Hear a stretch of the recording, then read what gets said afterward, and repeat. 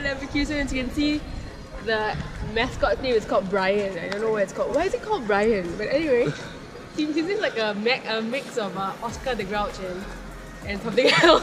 well, let's find out what's inside, guys. Hey guys, we're finally here at the Bayer Stadium. Check it out, it's so beautiful. I love it. So according to the tour guide, there are about uh, 35,000 uh, fans that can fill up this beautiful stadium over here. And they also even have a really cool netting and a specialized place for the away fans. And I'm gonna actually show you where the we will be sitting later. I think I think it's over. It's up there. But you know what's interesting about this stadium is that it's apparently been uh, constructed in the 1950s. That's like ages ago. How many people will be here today? 40,000. 40,000? Anyone? 50. 60? 60? I don't know why I've been benched today, but they just, they're not they're not allowing us to go into the field because it's perfect and ready for today's game. So we're here with the rest of the crew, the rest of the guys here on the bench, but it's beautiful and it's comfortable. So I'm just gonna sit here until the game starts.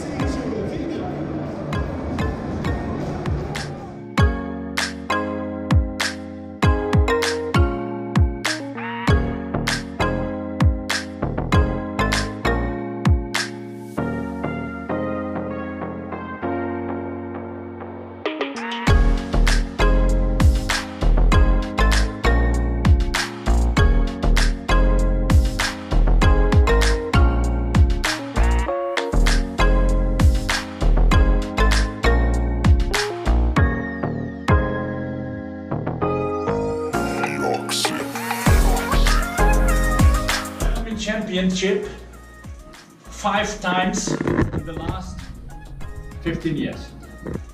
That means five times German champion.